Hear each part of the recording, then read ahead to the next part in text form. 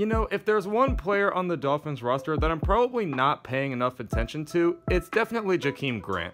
I'll admit, I'm definitely sleeping on this guy. It's not that I think he's bad, it's just that I don't think I'm doing a good job of acknowledging how good he is either. I've had a few comments throughout this YouTube channel saying that I haven't really mentioned his name enough or that I maybe forgot about him. And you know what? You guys are right. Don't do what I keep doing by mistake. Don't sleep on Jakeem Grant. Miami might already have some good receivers in DeVante Parker and Preston Williams, and even tight end Mike Gesicki, but now that Albert Wilson and Allen Hurns opted out, somebody has to step up in the slot, and that's probably going to be Jakeem Grant.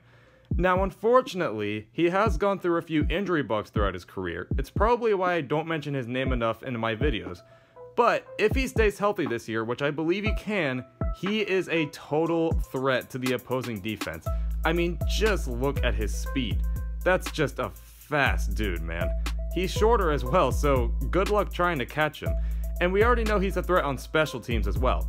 But now teams gotta deal with him on both special teams and offense. So I believe that if he does stay healthy and play well for us this year on offense, he could be the Dolphins comeback player of the year.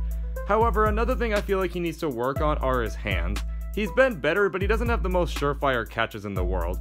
However, he's been working his butt off this offseason, and I truly believe he has a real chance to become a true weapon for us this year. He has an opportunity right in front of him, and I think that we all should believe in this guy. So beware of Jakeem Grant, NFL, because he is looking to come back and rip right through everyone's defense.